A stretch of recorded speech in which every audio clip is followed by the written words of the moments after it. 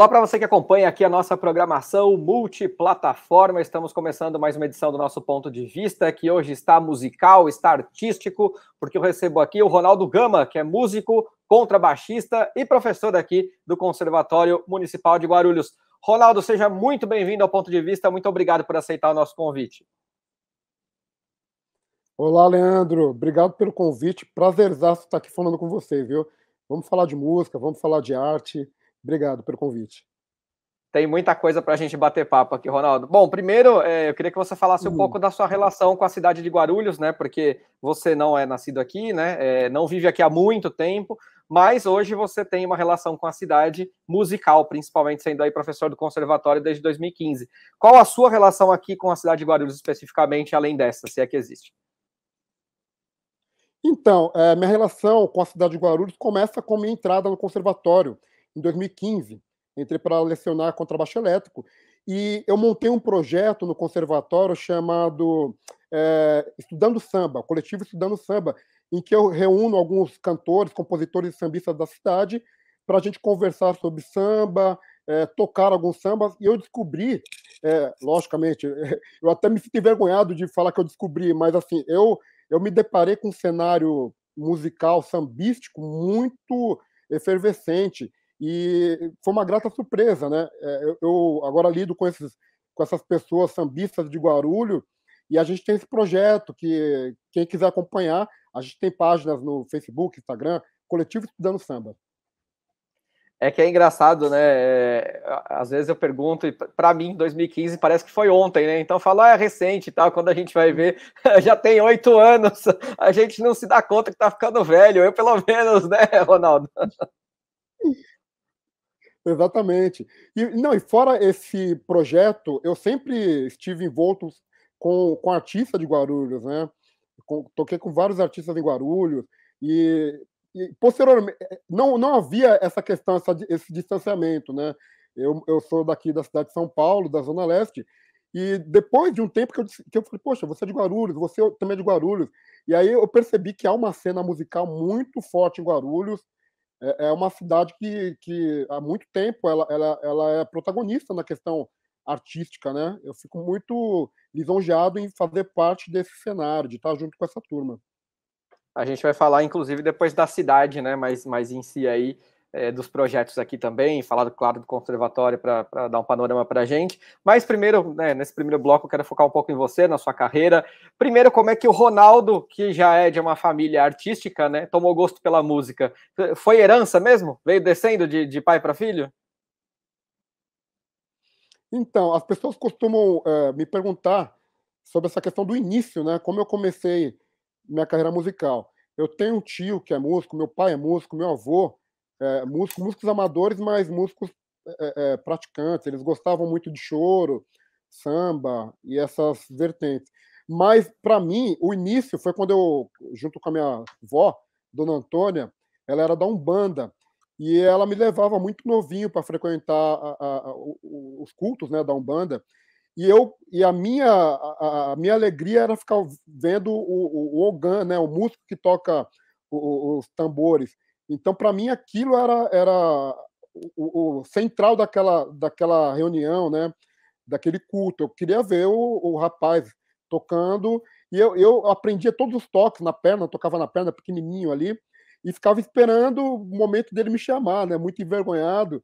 É, fiquei esperando até hoje, não me chamaram para tocar, mas eu creio que ali foi o início de, dessa, desse meu gosto para música, né? de entender que, é, que a música é algo inerente. E na, é, naquele contexto eu entendi a música como natural, né?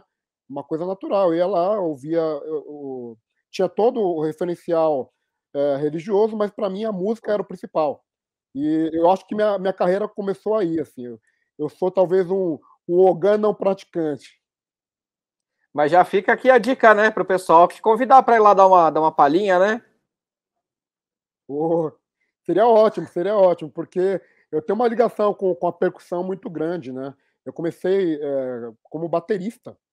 Toquei baterista uns 20 anos, toquei bateria uns 20 anos e só posteriormente outros instrumentos vieram entrar na minha vida, como contrabaixo, contrabaixo acústico, violão e, e, e os demais. Mas eu tenho uma ligação com o tambor, principalmente o tambor africano, muito grande. É, e eu, eu, passei por vários coletivos que tinha sempre a, a, percussão, como samba, né? O samba tem a percussão como protagonista. E, eu sempre me via nesse lugar do, do, do percussionista, né? Eu entendia muito bem a, o papel da percussão nesse contexto. Então, o, o tambor, para mim, na música brasileira, é, é, é, protagonista ainda, mesmo eu tocando instrumento de cordas, né?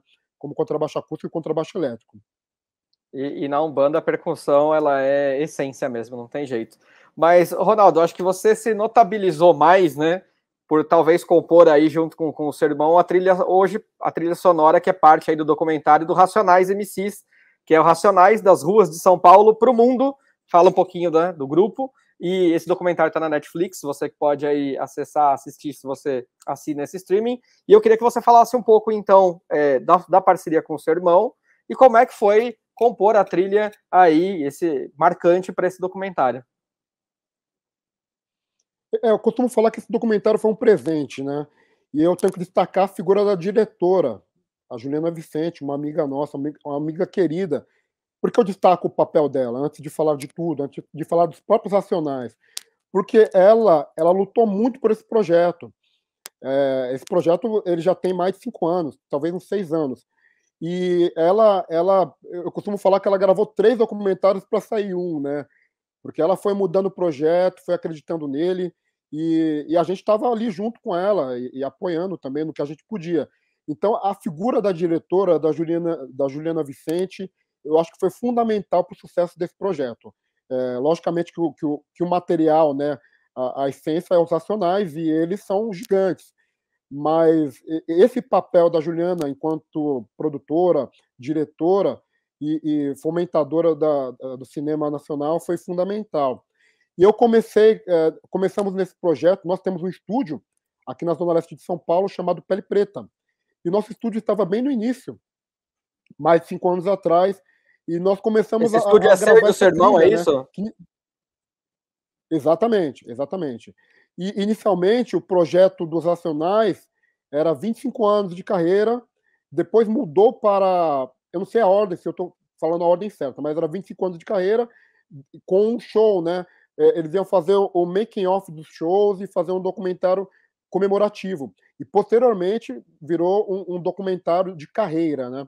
E meu irmão e eu, é, meu irmão já havia trabalhado com a Juliana Vicente, né? Em outros projetos. E aí ela, ela nos convidou para fazer é, parte dessa trilha, né?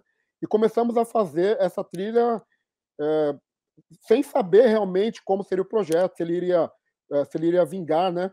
E por incrível que pareça, depois de cinco anos, aí veio a parceria com a Netflix e aí é, o projeto tomou corpo, o projeto foi viabilizado, refilmaram algumas cenas, a Juliana conseguiu a qualidade, a qualidade de fotografia necessária, é, de captação de áudio e, da, do próprio trato na trilha, na trilha sonora. Né? Tivemos outros parceiros também, não, não, não foi produção exclusiva nossa, a trilha sonora. Mas o, o meu irmão e o Renato Gama, nós contribuímos desde o começo, né? Então, para a gente, é, esse documentário ter saído nesse momento e com a repercussão, chegou a ser a sexto conteúdo mais visto na Netflix mundial. Então não, não, é qualquer feito, né? A gente fica a gente fica muito contente de poder participar desse projeto e, e feliz pela Juliana Vicente que acreditou no projeto, é, conseguiu convencer muita gente, inclusive os próprios é, integrantes nacionais que que foram também se deparando com vários bloqueios de, de, de estética, que ah, assim eu não quero, eu quero de, de uma outra forma, e, e, ela, com toda habilidade, ela foi trabalhando isso até chegar no, nesse produto final, que é o documentário, né, a meu ver, é, na cultura hip hop, né, é, de suma importância, um dos mais importantes da atualidade. É que para quem trabalha um pouco com mídia e sabe como é que a salsicha é feita por dentro, né? Ah, sabe que tem todo um aparato técnico, tecnológico, precisa de investimento, não dá para você fazer de qualquer forma, né? Não é que nem é, é, com todo respeito, tá? Mas é um youtuber, é um TikToker que vai pegar o celular e vai gravar. Não, tem todo um trato, um apuro, é, então leva bastante tempo para fazer um documentário. Imagine também o cinema de Hollywood como não é, né? Por isso que os orçamentos são gigantescos, mas a arrecadação também é. Que bom que vocês conseguiram essa parceria com, com a Netflix, é, com certeza é um sucesso. Você aparece aí numa das cenas também, né? Então acho que assim deve ter coroado o seu trabalho, eu acredito. Hoje, como profissional, você vive inteiramente da música? Hoje a música te sustenta, ela te traz renda? Sim, sim, Leandro eu praticamente não fiz outra coisa na minha vida, né? Com salvas, ressalvas, como é, minha mãe é costureira, modelista, e na infância eu trabalhei com ela como, como costureiro também, né? Até hoje eu sei costurar, fazer uma barra, essas coisas que, que a gente às vezes não vê por aí, né? Eu, eu tenho essa profissão e tenho muito orgulho de ter passado esse tempo, de minha mãe ter passado o seu ofício para mim, né? Mas desde muito cedo eu já fa fazia em paralelo à música, né? Já tocava profissionalmente, é, com meu tio, foi onde eu, eu, ganhei meu primeiro cachê, né? Foi tocando com meu tio, e para mim aquilo foi maravilhoso, porque eu falei, poxa, eu gosto de tocar, e as pessoas estão me dando dinheiro para isso. Eu achei aquilo fantástico. Para mim foi uma descoberta. Eu falei, poxa, então é, isso é profissão, ser músico é profissão. E posteriormente, com grupos de pagode, também participei de vários grupos de pagode. Eu toquei com a Helena de Lima, Raça Negra, então, tive uma, uma trajetória no, no, no, mundo do samba também. Mas, é, particularmente, é, a, a, profissão de músico, ela, é, ela, ela, às vezes é um pouco enganosa, né? Às vezes a gente não entende é, as possibilidades. E, felizmente, eu me deparei com muitas pessoas, professores, mentores, que foram me direcionando, falando das possibilidades é, é, no mercado de trabalho como músico. Então, eu atuo não só como instrumentista, mas eu atuo como, também como professor, que garante uma subsistência é, razoável né, para um músico.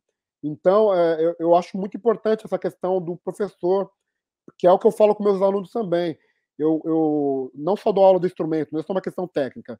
Eu também explico para eles as possibilidades, como me foram passadas, né? O que você pode fazer para viver exclusivamente de música, se é o que você deseja, né? E, e funciona talvez como qualquer outra profissão. Eu penso dessa forma. Perfeito. Depois do intervalo, eu vou querer abordar com você, inclusive, essa parte, a parte da educação musical, a parte da música como uma ferramenta aí de emancipação ou ascensão social, que eu acho que são pontos importantes. Falar do conservatório, evidentemente, para a gente entender como é que está Guarulhos nesse cenário musical no conservatório e das políticas públicas aqui, e também, evidentemente, falar um pouco mais de você. Mas antes de ir para o intervalo, acho que dá para fazer uma última perguntinha. Queria que você falasse um pouco da parceria com o seu irmão, ficou faltando naquela pergunta. Como é que é tocar, compor, enfim, junto com, com um parente tão próximo como é o seu irmão, como membro da família? Ah, é, é maravilhoso para mim. Meu irmão é meu melhor amigo, né? É, ele é um pouco, dois anos mais velho do que eu, e eu comecei a tocar porque ele começou a tocar antes, né? Ele começou a tocar e como eu sou muito ligado a ele, sempre desde pequeno, queria ficar com ele. E aí eu, eu vi nessa possibilidade de tocar mais uma forma de ficar junto com ele, de, de acompanhar ele. Então a gente tem banda desde sempre, né?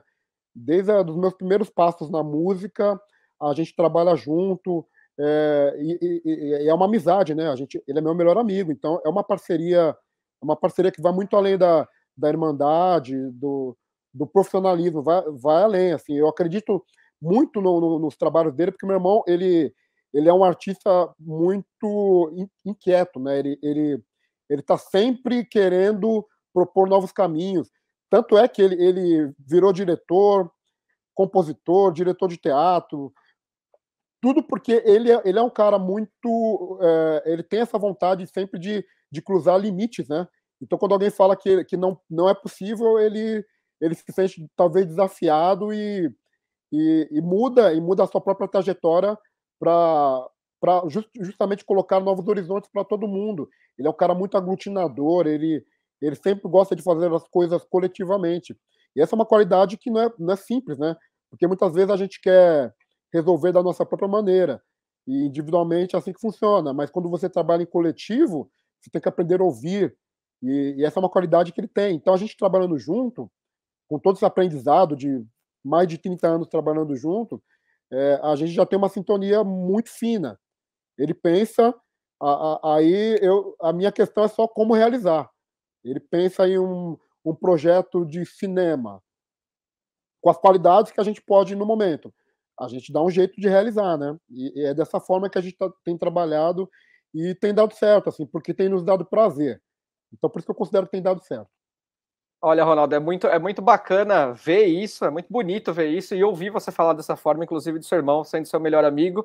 E realmente, numa sociedade que hoje é, incentiva e premia mais a individualidade, pensar coletivo e agir coletivamente é um grande desafio e é uma grande prova também de, de amor ao próximo. Vamos fazer aqui uma pausa, a gente vai para o intervalo, na volta então a gente vai abordar aqueles assuntos que eu já adiantei aqui para você. É aquele tempinho para beber uma aguinha e a gente volta já.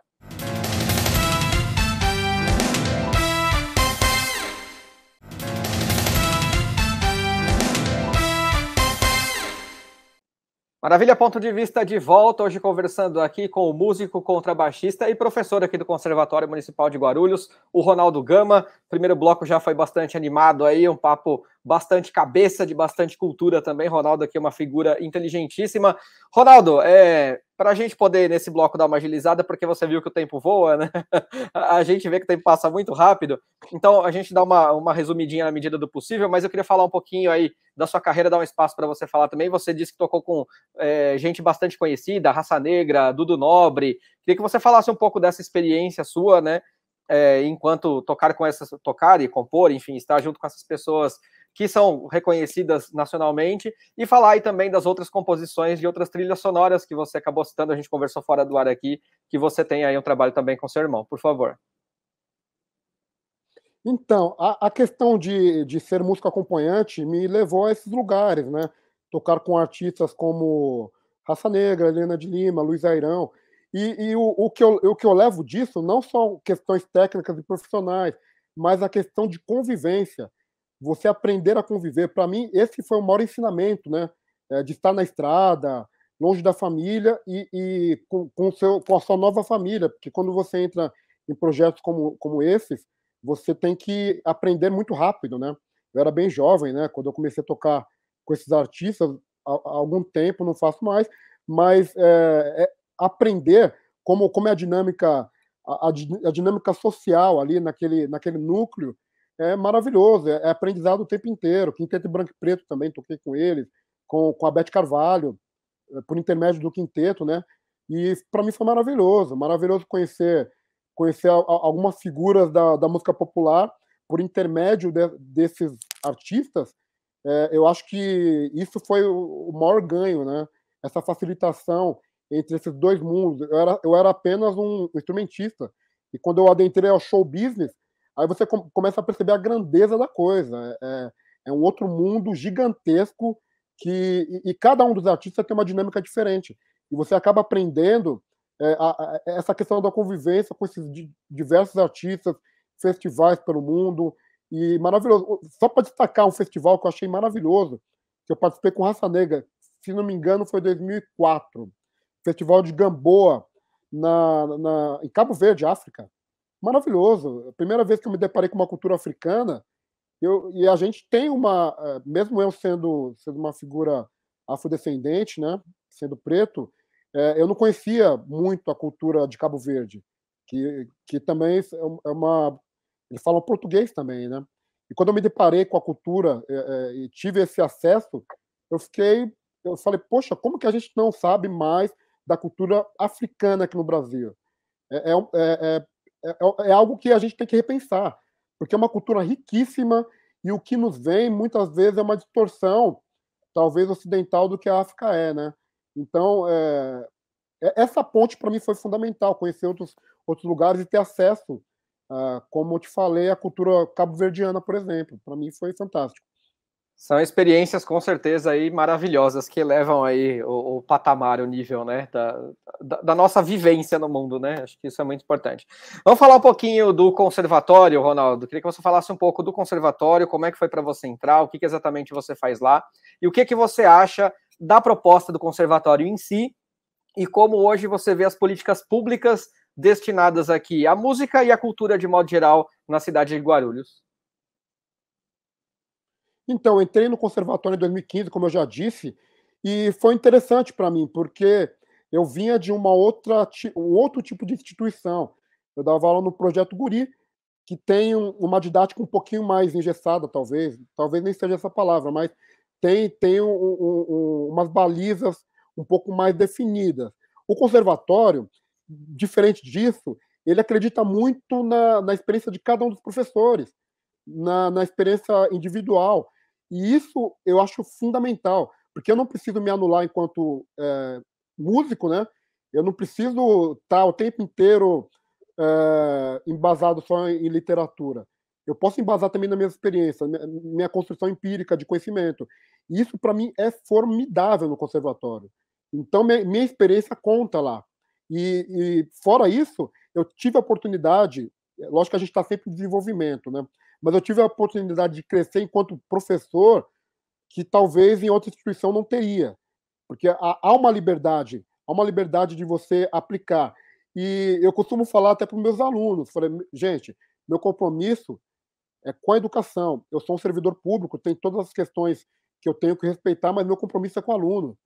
E é, eu até costumo falar, eu não me vejo como um servidor no sentido de que eu tenho compromisso em ir lá dar aula. Não, eu tenho compromisso com o aluno. Então, me preocupo com ele, eu aprendi a ser assim.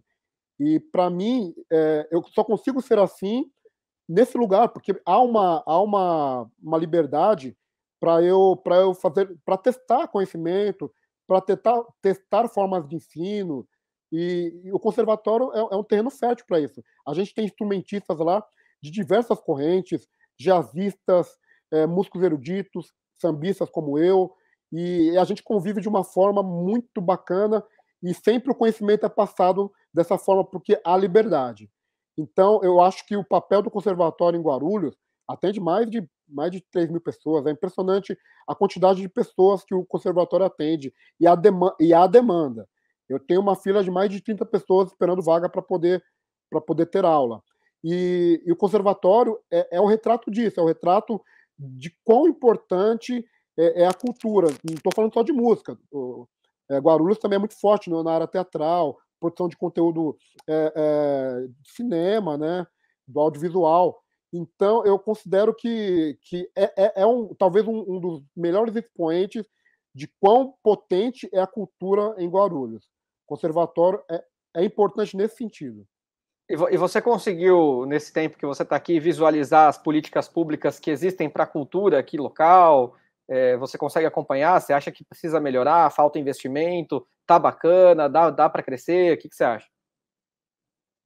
Então, eu participei da, da comissão como suplente, né, da, do plano diretor de cultura 2018-2019. É, e a discussão era justamente essa, né? Quais os caminhos? E investimento é o primeiro caminho, é, é inevitável, é inevitável, porque a gente sempre fala isso. Quando a gente vai falar em educação ou cultura, não adianta a gente falar em, em maneiras se não falar em, em viabilizações. Ou seja, recursos são importantes e é o ponto de partida. Mas, ao mesmo tempo, a gente vê que há, há um diálogo aberto. Há um diálogo aberto para conversarmos sobre condições também, né? Sobre condições de trabalho, sobre possibilidades de crescimento, porque é, quando eu participei desse, dessa formulação desse plano, né, eu percebi muito isso, que há, era só com artistas de Guarulhos, né, eu mesmo não sendo um guarulhense, eu eu, eu, eu tentei entender toda a dinâmica da cidade é, para poder contribuir de alguma forma. E o que eu percebi inicialmente foi isso: há diálogo. Agora a gente tem que estender esse diálogo para gerar condições para um crescimento, que porque cultura gera, gera, gera renda, gera divisas. E Guarulhos tem um potencial gigantesco culturalmente. Se, se começarmos o diálogo falando em condições e, e, e investimento, com certeza a parte de a parte de, de, de como fazer ele vem logo em sequência porque as pessoas estão dispostas a melhorar e as pessoas de Guarulhos querem fazer seus projetos em Guarulhos. Elas querem que o projeto de Guarulhos seja é, é, é seja feito na própria cidade onde eles residem, né? Então percebo muito isso. Ô, ô, Ronaldo, perfeito, acho que é isso mesmo, e, e, que bom, né, que bom que Guarulhos também pode passar essa, é, essa imagem cultural, e a gente espera que cresça cada vez mais, né, uma cidade do tamanho de Guarulhos tem um potencial enorme para crescer ainda cada vez mais. É, a gente está quase no final do programa, então eu vou pedir para você resumir duas coisas, na verdade. Então é bem, bem no pique mesmo agora, como diria o outro. É, você é uma pessoa que tem vários cursos na área musical, tem bacharelado, é, e hoje também é professor. Então você foi aluno e hoje também dá aula. Eu queria que você falasse um pouco da importância dos estudos especificamente né, na área da música. O quão é importante estudar também a teoria, né, ir lá se informar, entender, para depois poder aplicar na prática é, e ser um bom músico. E o quanto a educação, a música pode ser vista como uma ferramenta de educação e também de emancipação social. Essas pessoas que de repente procuram um conservatório, conseguem ali aprimorar um talento, ter uma nova profissão, enfim, e depois de repente ascender socialmente, se emancipar socialmente. Então, queria que você falasse resumidamente dessas duas questões, por favor. Então, é, como eu comecei como músico da noite, autodidata, para mim era algo muito distante estudar, ter formação, ter títulos. Mas e, e, a gente que é músico da rua, a gente acha que não não vai crescer nada, não vai acrescentar nada na sua trajetória. Mas eu, eu me deparei com outro mundo que eu não conhecia e eu sempre falo para meus alunos: é, façam faculdade se você quer realmente ser músico. Não adianta só ser bom músico. Você tem que ter, ter um conhecimento, é, é, mesmo que básico, mas da, do, das questões técnicas de música, porque é um, é, é, é, é um tema que é abordado, a música ocidental, né? um tema que é abordado no mundo inteiro. Então, é muito importante. É, eu participei de alguns cursos, como hoje eu sou mestrando na Unicamp, na, é, na, na música, né? É, fiz também especializações, e eu percebo isso, quanto isso me fez crescer na parte técnica, na parte também musical. E eu, eu, eu sempre eu convenço um aluno ou outro que querem ser músicos profissionais ou já são, que já que vocês são músicos profissionais, é importante fazer uma faculdade, é, porque você vai se deparar com o mundo que você acha que você conhece. A gente acha que música é só uma questão de nota, que não tem estética envolvida, que não tem uma questão de, é, é de da sua função social. Então, é, para mim foi isso, mudou minha vida socialmente, como eu me vejo, como minha, minha, minha, meus vizinhos me veem. E eu sempre que possível eu converso com meus alunos para eles entenderem que a música é, ela vai além de, de 12 notinhas. E a música como, como ascensão social também muito válida, né? Principalmente como arte da periferia, por exemplo, né? Sim, sim. E meu irmão e eu, a gente conversa muito sobre isso, sobre a questão é, socioeconômica que a música envolve. E a gente chega numa conclusão que talvez não seja tão tão palatável, mas a gente acha que a música realmente ela tem uma função social, mas antes disso, políticas públicas. O que, o que muda a sociedade são políticas públicas. o rap, o samba, a música em geral, ela tem uma função. Mas se antes disso não tiver música, é, políticas públicas, a gente tem muita dificuldade em, em, ter esse processo de transformação. Aqui no meu bairro eu tenho, nós, né, o meu irmão e eu e minha mãe, temos um projeto chamado Vela em Dia de Lua. A gente tem uma biblioteca, é, uma biblioteca comunitária com títulos afrocentrados, é, poesia também, e temos um espaço que é uma viela em que a gente dá aulas de violão. Então a gente percebe isso, a gente tenta transformar, mas nosso alcance ele é limitado, porque um fomento público ajudaria muito. Eu conversando com, com um amigo, é, eu falei justamente isso. A população ela dá sinais para os servidores, né? De, de para onde ela quer ir, para onde ela quer ir, porque, do que, que ela precisa. Então, eu, eu acho que nosso projeto aqui talvez seja um exemplo disso, porque é um projeto que a gente tem poucas parcerias, mas parcerias muito significativas, né, com a própria comunidade, que talvez a gente dê uma direção para onde a gente pode, pode ir com, com um projeto artístico como esse o legal, Ronaldo, é quando a gente consegue, tomara que sim, hum. né? Unir uma política pública, é, a arte, como você disse aí, que você ama o que você faz, então para você é, é um prazer viver disso, ganhar sua renda em algo que você gosta muito, e também a parte da comercialização, porque faz parte, né? A parte da comercialização, da publicidade, do marketing, tudo está envolvido. Se a gente conseguir unir todos os universos, a gente teria aí um mundo ideal. Ronaldo, o programa está acabando, então eu vou primeiro agradecer o convite pela sua participação. Muito obrigado por ter aceitado, por ter conversado com a gente. Conversa aqui, ó, papo super cabeça, de altíssimo nível. É, mas eu queria que você, para finalizar nesse um minutinho, para dar sua consideração final, falasse aí daquelas outras trilhas que a gente acabou ficando devendo, né? Que vocês, vocês e seu irmão trabalharam. E agradecendo mais uma vez o convite, pode ficar à vontade um minutinho para falar disso e também para fazer sua consideração final pessoal. Muito obrigado, Ronaldo. Foi um grande prazer tê-lo aqui. Obrigado, Leandro. Obrigado pelo convite. Prazerzaço. Por mim, ficaria conversando aqui durante horas.